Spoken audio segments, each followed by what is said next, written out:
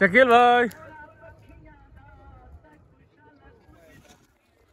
मौली और ये कैंप लगे हुए सारे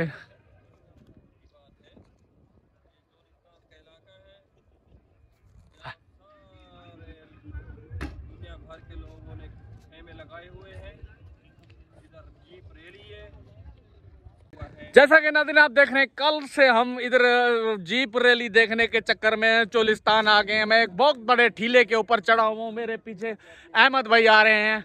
और ये फ़सलें ही फ़सलें हैं, ये देखो।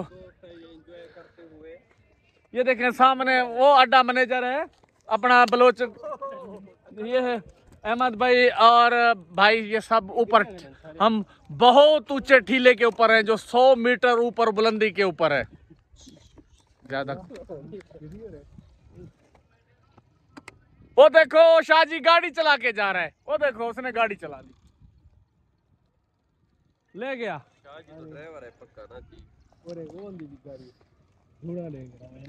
माशाल्लाह जी दूसरा दिन है एंजॉय कर रहे हैं हम आपको step by step total video दिखाएँगे वीडियो नहीं मिस करना चोलिस्तान की।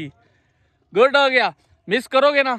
तो कुछ चीजें रह जाएंगी आप भी कभी चोलिस्तान आए तो ये चीजें आपको देखने को मिलेंगी एक्सपीरियंस होगा आपको ਦੇਖ ਹੁਣ ਹੀ ਤੇ ਇਹ ਵੀ ਆਸਰਾ ਕਰ ਗਿਆ ਜੀ ਬੁਲਾਏ ਹਾਂ ਉਹ ਤਾਂ ਉੱਡ ਹੀ ਵੰਜਣਾ ਨਾ ਮਤਲਬ बढ़ना बढ़ना भजाते हैं भजाते हैं भजाते हैं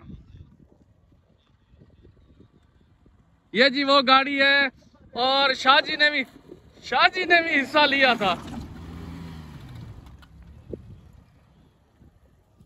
अहमद भाई, मज़ा आ रहा है अहमद भाई, मज़ा आ रहा है।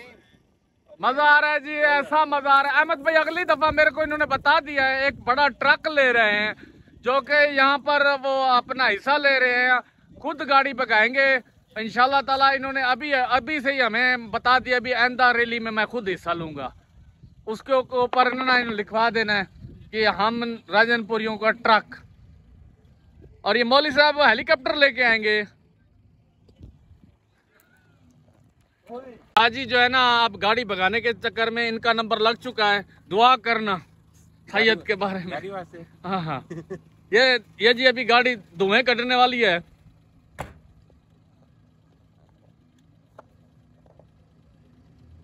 गाड़ी भजनी चाहिए